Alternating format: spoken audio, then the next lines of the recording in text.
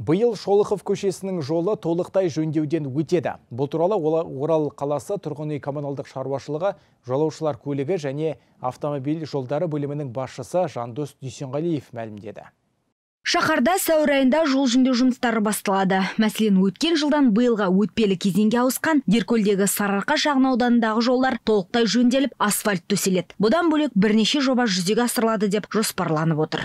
Қазіргі таңда бізде тоғыз қаланың негізгі көшелері бойынша орташа жөндеу бойынша жобалық құжаттамалар дайындалды. Оған да қазіргі таңда мемлекет сатып алу процестерін бастайын деп жатырмыз одан бөлек бізде төрт жол бойынша реконструкцияның жобасы дайын. Оны республикалық бюджеттен қазір қаржы сұрап жатырмыз. Бұдан бөлек өткен жылдан биылға ауысқан алты көшенің жолының құрылысы аяқталмақ. Бұл жұмыстарға төрт миллиард теңге қаражат жұмсалады деп күтілуде. Қазір біз оралдағы ең ұзын көшелердің бірі яғни шолқов көшесінің бойындағы жолдардың біріндеміз. Қалалық әкімдік өкілдерінің таратқан ақпаратына сүйенетін болсақ биыл осы көшенің жолы жөнделетін болады.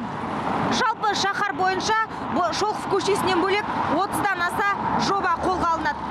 Соның ішінде осы көшенің жұмыстарына тоқталатын болсақ жөндеу жұмыстары аяқталғаннан кейін бұл жердің шамдары толықтай қалпына келтіріледі. Сонымен қатар жол бірнеше метрге ұлғаймақ. Магистралды көшенің бірі айналмалы көше болып саналады. Жаңағы ресейден келетін барлық ресейге келетін ресейден келетін ресейге баратын шетелдік барлық фуралар осы шолық көшесі арқылы жүреді.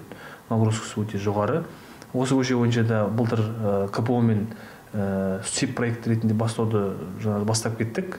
Енді барлық құжаттарды реттеп бітірдік. Сәйкесінше сәуір айында кпо тарапынан конкурстар процедура бәрі аяқталып шолық көшесін жөндейтін мердігер компания анықталуы қажет. Ал биыл тағы 22 көшедегі 47 шақырым жол құрылысы жасалмақ. Айнұр төлеуғалиқызы айболат жағыпар александр грабарев тдк тек телеарнасы.